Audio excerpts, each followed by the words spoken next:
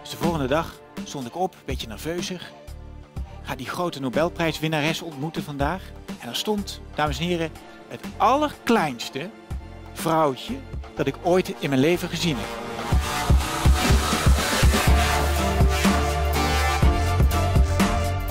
Hoe legde onderzoek aan de keukentafel de basis voor het huidige hersenonderzoek? De Universiteit van Nederland presenteert hersenonderzoeker professor Dr. Jeroen Geurts.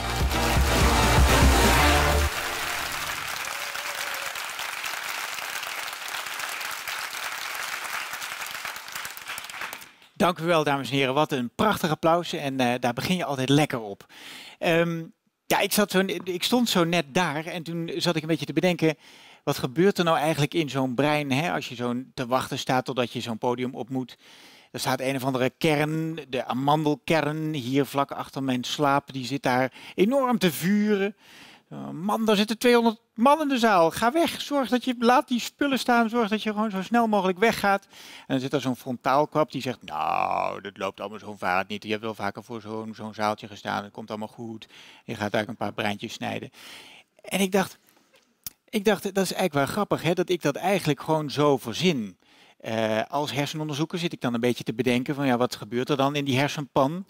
Uh, en, en dan probeer ik dat een beetje te verklaren. En ik zat terug te denken, hoe ben ik nou eigenlijk hersenonderzoeker geworden? Nou, dat was een, een, een soort, soort weggetje, dat zal ik u besparen. Ik heb van alles wat geprobeerd en uiteindelijk vond ik dat hersenonderzoek heel erg mooi.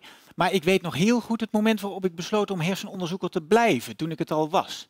Er was één dame die een enorme inspiratiebron voor mij is geweest en die ook de basis heeft gelegd voor mijn onderzoek zoals ik dat vandaag de dag doe. En ik wil u eigenlijk, ik vind dat we te weinig verhalen aan elkaar vertellen, dames en heren. Dus ik wil u eigenlijk vandaag een verhaaltje vertellen over die persoon, Rita Levi Montalcini, een uh, Italiaanse, een Nobelprijswinnares.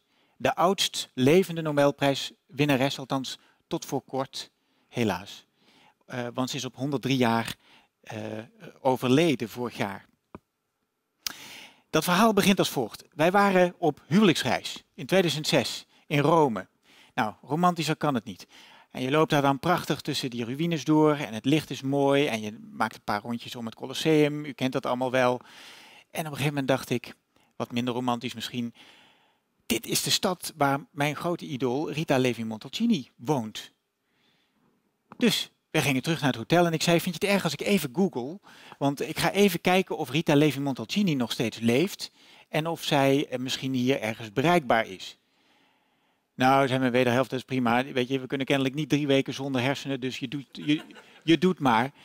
Um, dus ik ging googlen. Ik vond dat adres van haar instituut. En um, ik dacht, nou, ik trek de stoute schoenen aan en ik ga bellen. Ik ga gewoon bellen of ik langs kan komen. En ik belde en ik kreeg een, een Italiaanse secretaresse aan de telefoon. Die werd heel zenuwachtig van mij, want ik sprak geen Italiaans en zij geen Engels. Dus ze zei, um, ja, kunt u terugbellen? Ze is er niet. Uh, bel morgen maar terug. Ik dat gedaan. Morgen teruggebeld. Nog een keer teruggebeld. Nog een keer teruggebeld. Dit is trouwens Rita. Prachtig, lief besje van een, van, van een vrouwtje. Hier denk ik een jaar of honderd. Maar goed, eh, eh, lang verhaal kort te maken, hè, want ik wil u allemaal niet vervelen. Uh, op een gegeven moment kreeg ik gewoon het telefoonnummer van Rita Levi Montalcini thuis. Die secretaresse dacht, bied het, ga het maar zelf regelen, bel haar maar op. Dus ik had gedaan, een beetje zweet in mijn handen natuurlijk. Maar ze vond het allemaal prachtig en ik mocht de volgende dag langskomen. Dus de volgende dag stond ik op, een beetje nerveuzig. Ga die grote Nobelprijswinnares ontmoeten vandaag. Die zoveel betekend heeft voor mijn vak. Zo'n belangrijk hersenonderzoeker. Ik deed mijn jasje aan. Ja, je vraagt je af eigenlijk, waarom neem je een jasje mee op huwelijksreis? Maar ja, force of habit waarschijnlijk. Ik deed dat jasje aan en ik ging naar buiten en ik pakte een taxi. En ik zat in die taxi en ik dacht nog eens na over wat ze eigenlijk allemaal gedaan had. Rita werd in 1909 in Turijn geboren.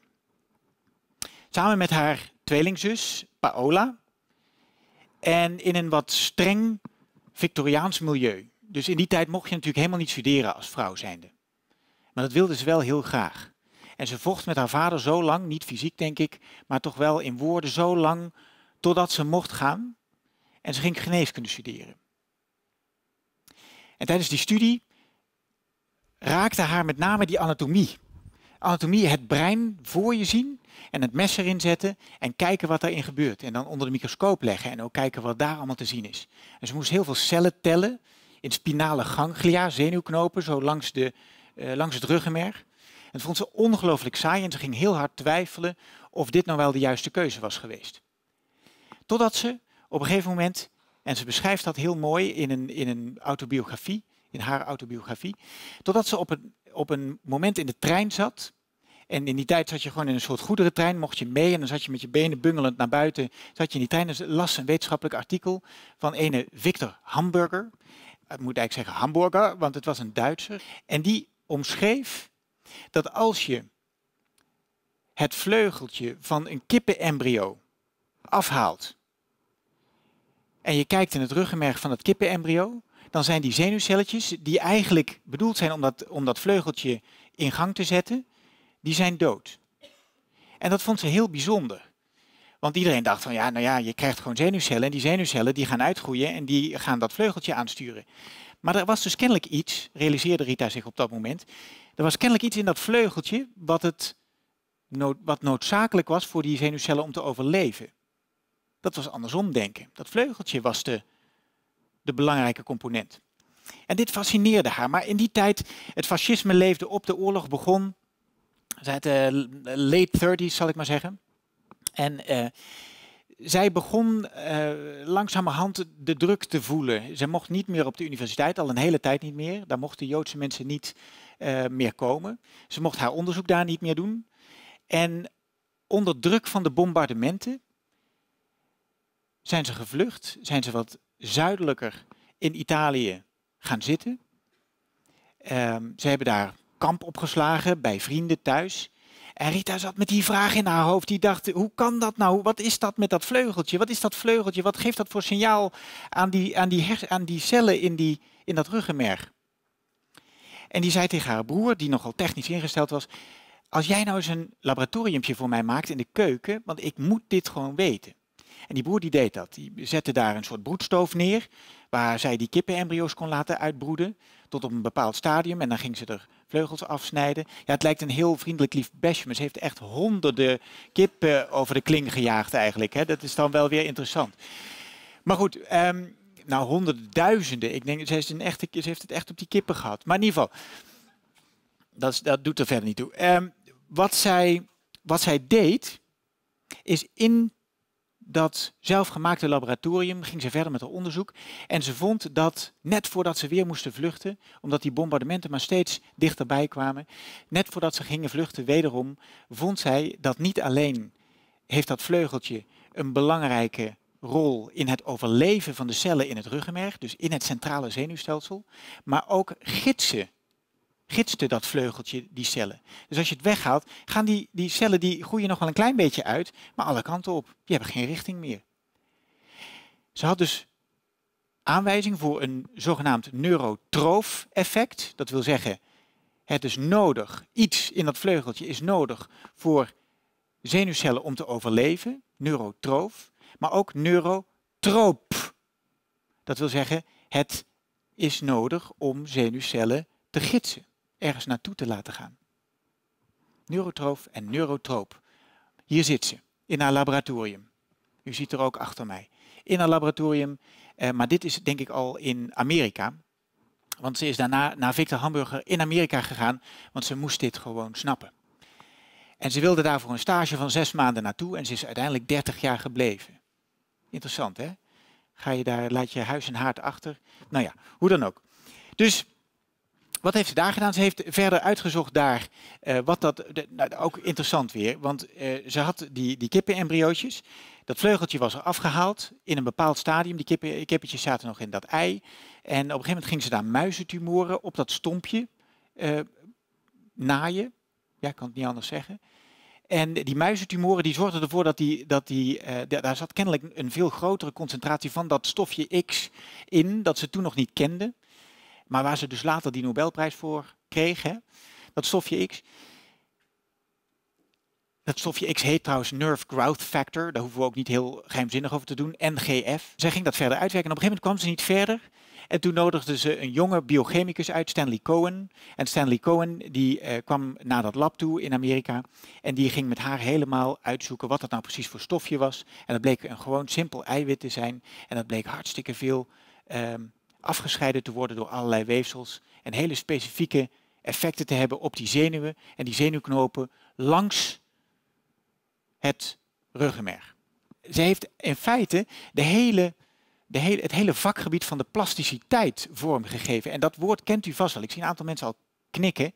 Plasticiteit, het vermogen van de hersenen om om problemen heen te werken. Als u een grote tumor heeft of een groot infarct, dan proberen die hersenen om daar op de een of andere manier een beetje omheen te werken, zodat ze toch hun functie kunnen behouden en u ook vooral uw functie een beetje kunt behouden.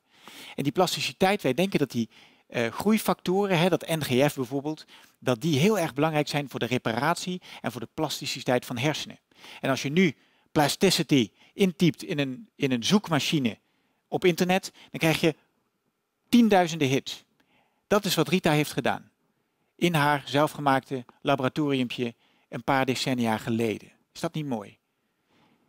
En toen dacht ik, want toen was ik inmiddels met de, met de taxi aangekomen bij haar instituut. En toen dacht ik, oh mijn god, waarom doe ik dit? dit is, deze dame is zoveel groter dan ik. Wat heeft zij nou aan mij? Wat, wat, wat, heb ik haar nou te vertellen? En ik besloot dat ik niet langer dan 10 minuten van haar tijd zou innemen en dat ik dan met de staart tussen de benen weer zou vertrekken.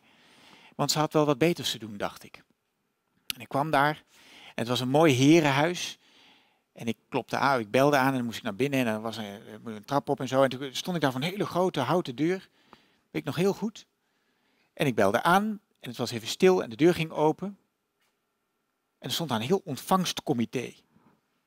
En ik dacht, waar is Rita nou? Wie zijn al deze mensen? Maar die mensen gingen op een gegeven moment opzij. En er stond, dames en heren, het allerkleinste, allerbroosste vrouwtje dat ik ooit in mijn leven gezien heb.